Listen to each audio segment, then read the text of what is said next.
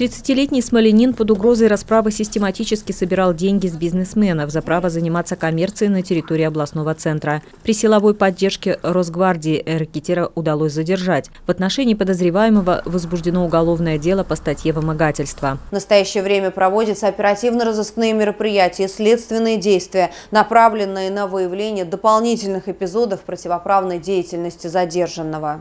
На данный момент подозреваемый находится под стражей.